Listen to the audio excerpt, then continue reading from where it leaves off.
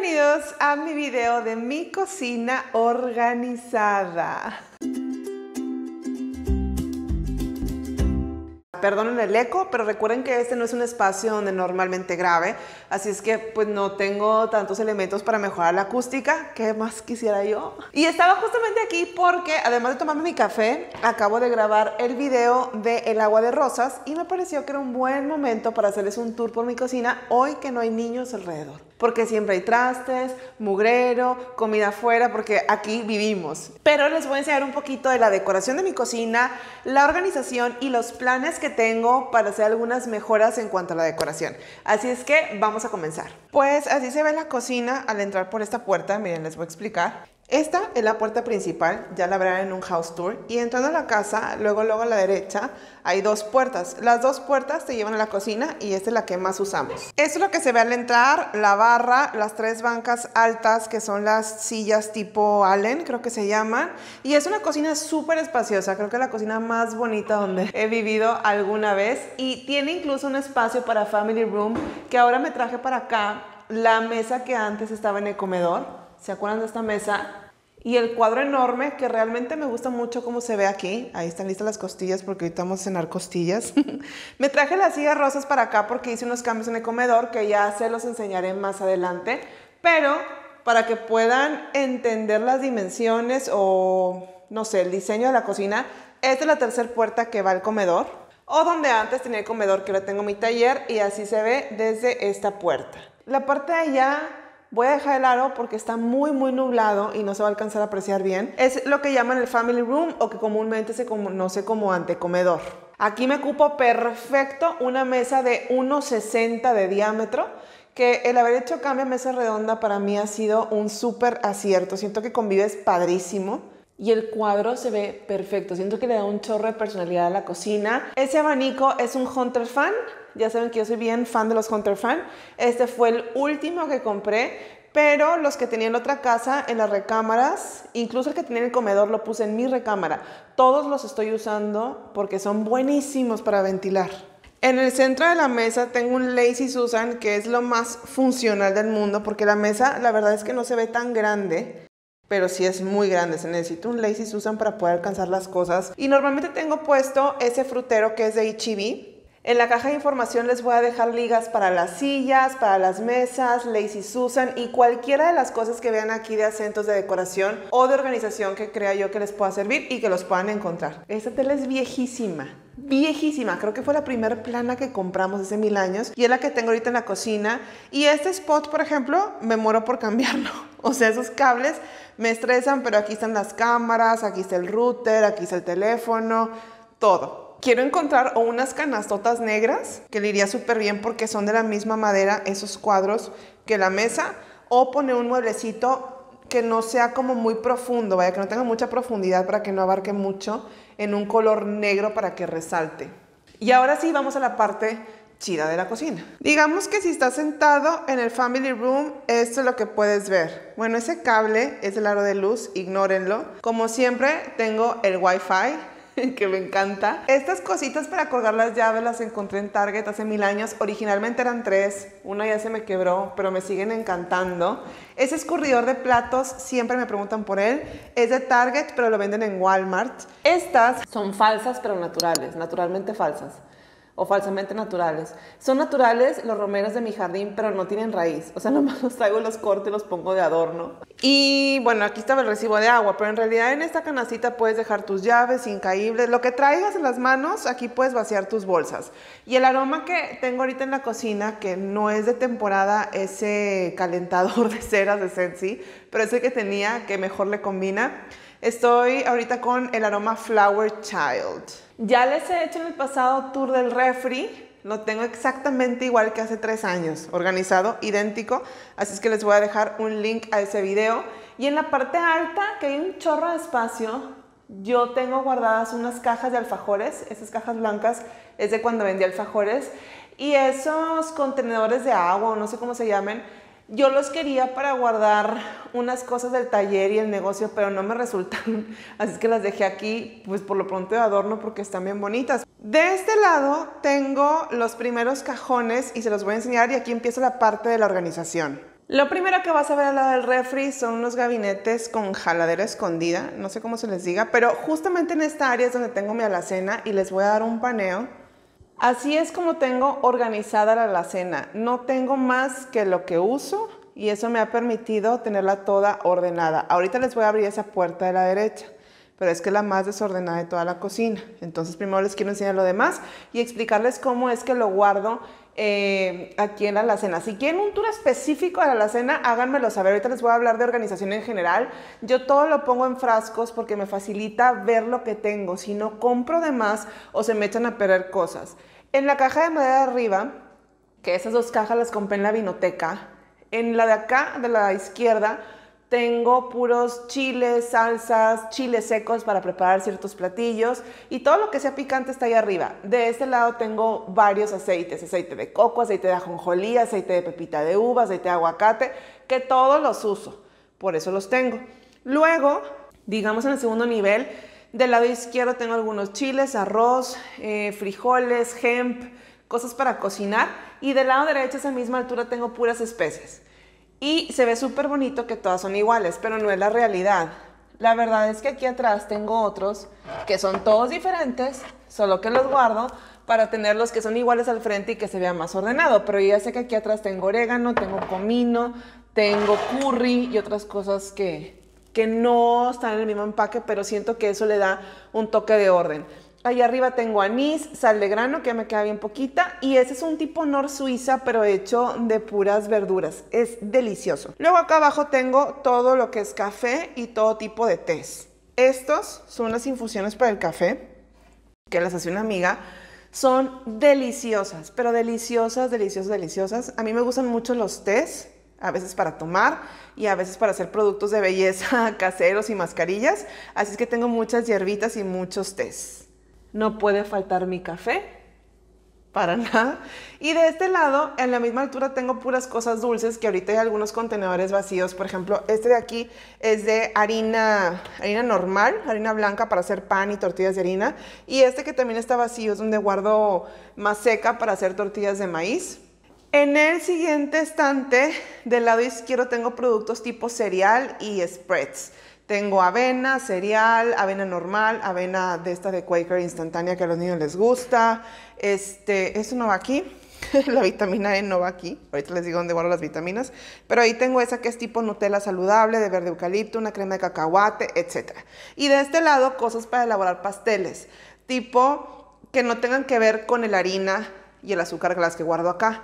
Aquí tengo maicena, levadura, vainilla, cacao, ese tipo de cosas. Y en el de mero abajo tengo cosas como más típicas de despensa.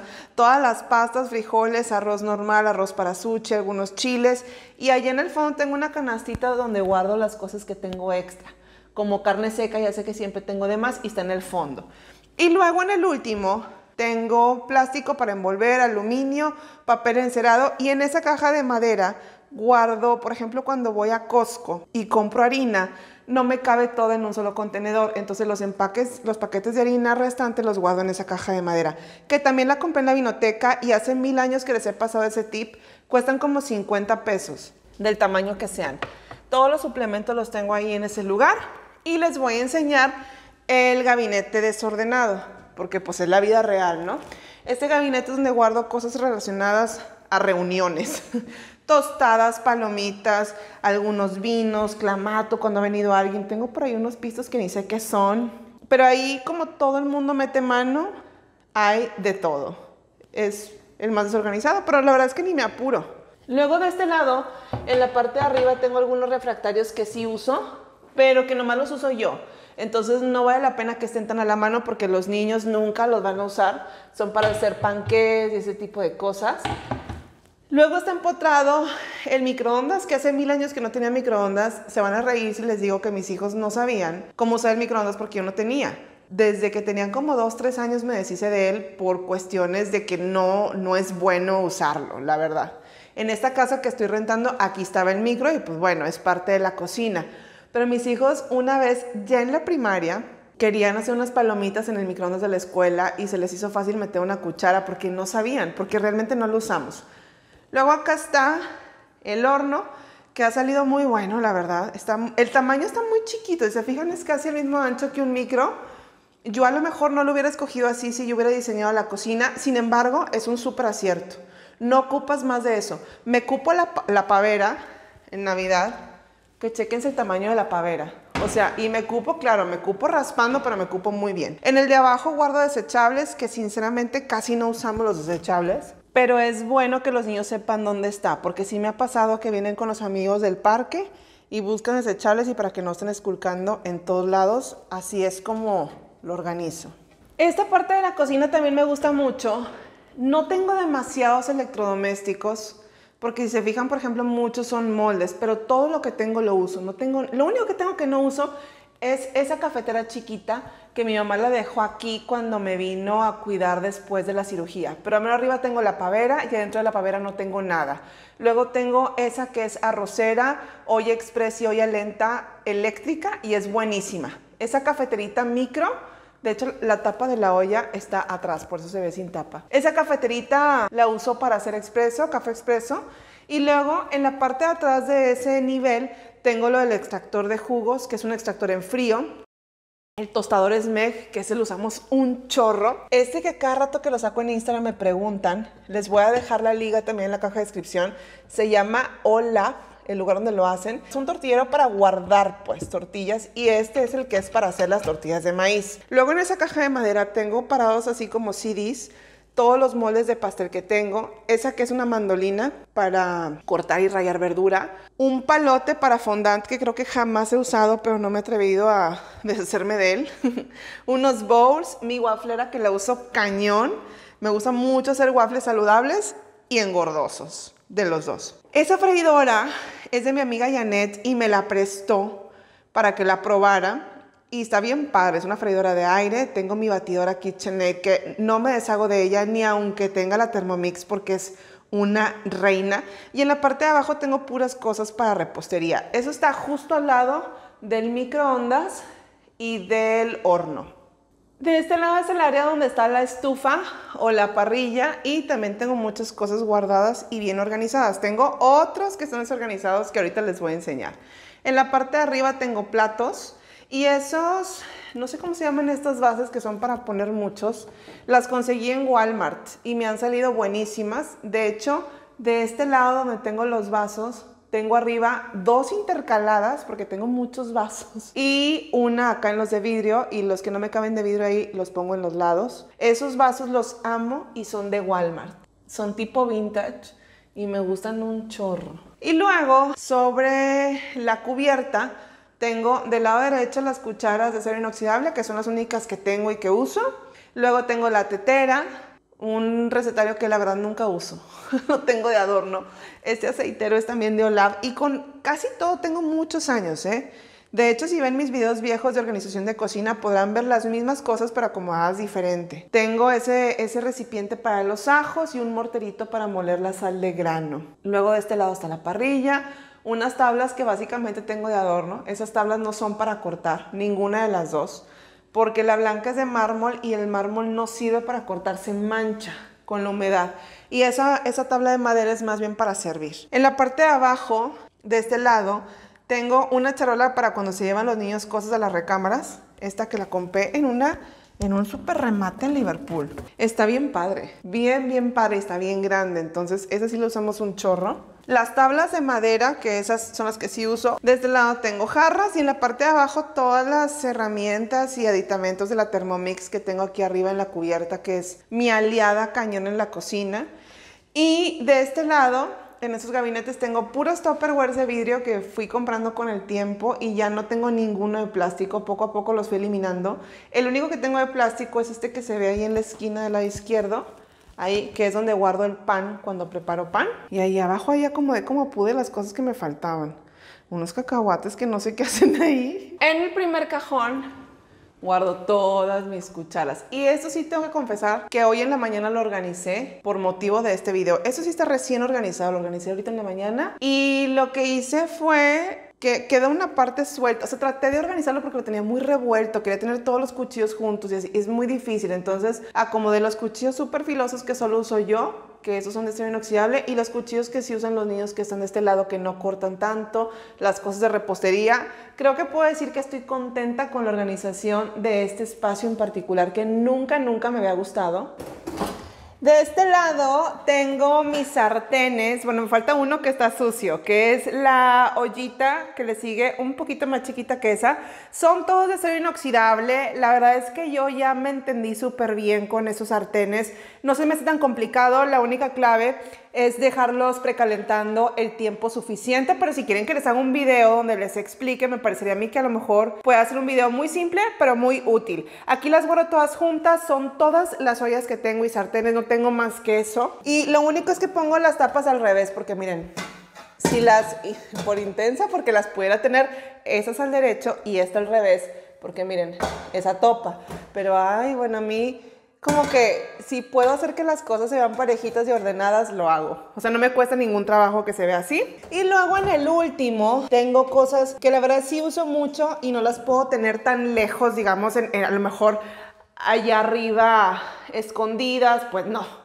Las necesito acá abajo. Son los coladores que este lo acabo de comprar en Costco. Buenísimo y lo uso un chorro porque lo sostienes de los extremos, en los extremos de la tarja. Está fabuloso. Parece una tontería, pero me sirve mucho. Este comal que es de acero inoxidable que me ha servido hasta para hacer pizzas. Me venía de regalo con los sartenes. Y también tengo un comal tradicional que creo que esto es, no sé cómo se llama esto, hierro que es como, no sé cómo se llama esto, pero es el típico para tortillas y algunos de barro, que ese sí lo llego a usar para hacer arroz y ese nunca lo he usado para frijoles, pero sí lo he usado para servir frijoles y que parece que los hice ahí. Tramposa totalmente porque los hago en el express. Y esa es la última parte de la cocina que ustedes no conocen. De aquel lado está mi purificador de agua que ahorita está vacío, pero está súper padre este de Niken porque lo llenas y purifica, ahí tiene carbón y piedras y lo puedes llenar con agua de la llave. De hecho, ahorita lo voy a llenar. Ese escurridor que hay, ¿cómo me preguntan por él? es de Walmart. Yo lo conseguí en Target, pero también hay en Walmart. Y bueno, aquí no está de lo más interesante, pero es muy funcional. Aquí guardo los cubiertos. Esto, por ejemplo, lo tengo siempre acá, que son los popotes. Y la madrecita está para limpiarlos. Encendedor. Este no va aquí, ahorita lo guardo en su lugar. Y algunos cuchillos más filosos. De este lado tengo palitos para el sushi y unas cucharitas de madera, que estas me gustan mucho usarlas para salsas y así. Aquí guardo servilletas tela y servilletas papel. Sí las compro en grande, pero viene como en muchos paquetitos y ahí tengo el servilletero. y la verdad es que se las uso bien seguido, ¿eh? por eso las tengo muy a la mano, porque a mí sí me gusta hacer de una cena o un desayuno X algo como más bonito, nomás por ponerle servilletas de tela, que te tardas lo mismo y te causa el mismo trabajo pero se ve mil veces más padre. Aquí en el último tengo nada más los ya famosos mantelitos negros que me preguntan mucho por ellos. Los encuentras en Soriana, en Walmart, en Target, en todos lados. Creo que esos son de Target, pero los compré en un remate. Me costarán como 98 centavos, algo así. Y estos que me los hizo la mamá de David. Son unos manteles individuales súper bonitos. Me los hizo y me los regaló de Navidad. Me encantaron y me los hizo junto con estas servilletas color salmón que David le pasó el tip que este color me súper encanta. Y como pueden ver por mis uñas, estoy grabando esta parte del video otro día porque la original se me perdió, se me borró de estos clips, así es que aquí estoy volviendo a grabar. Lo bueno fue que no hice ninguna como especial, la neta, así es como siempre la tengo, entonces se hizo fácil volverlo a grabar. Aquí en el fondo tengo el jabón grande que compro en Costco para los trastes. Ese es para plantas, es un fertilizante igual que aquel chiquito que se ve ahí. Este de aquí es el Soy Paul que es lo que yo uso hasta el día de hoy para desinfectar. Lo conozco hace años porque mi mamá lo vendía Creo que lo sigo vendiendo todavía. Y bueno, es el que uso para desinfectar desde la pandemia. Ahí siempre tengo bicarbonato para desinfectar verduras, para lavar algunos trastes. Este es un repelente de zancudos de la misma marca Swipe. Y aquí guardo estos aromatizantes. Solamente los uso en la planta baja porque en la planta alta uso aceites esenciales. Pues estos los guardo aquí a la mano, mis estropajos. Y luego, este estaba aquí en la casa esta estructura. No sé dónde la habrán comprado, pero me parece de lo más funcional. Y yo guardo una canasta aquí como si fuera un cajón y lo que tengo son pues unos extras de estropajos, esto para limpiar el acero, las bolsas para la basura. Estas son biodegradables, estas de acá no. Trato de nunca usarlas, la neta. Este que es un limpiador orgánico divino. Y acá tengo ese para la mesa de madera, unos trapos limpios y mi bote de basura. Que sí debería tener un bote de basura más grande porque lo tengo que sacar la basura cada rato. Por último, el gabinete de la vergüenza. Este me lo guardó. Yo hace mil años que no uso estos, pero está para la idea de reciclarlos. Voy a empezar a guardar. Pero aquí nunca se ha visto ordenado. No sé cómo hacerle, por más que lo he intentado, pero no se puede. Como que el lado oscuro de la cocina se ve horrible, pero esta es mi cocina en la vida real, como les digo. Espero que hayan disfrutado este video de organización. Si fue así, no olviden regalarme su like y nos vemos pronto con más videos acá en mi canal, martes, jueves y sábados en punto de las 8. Bye.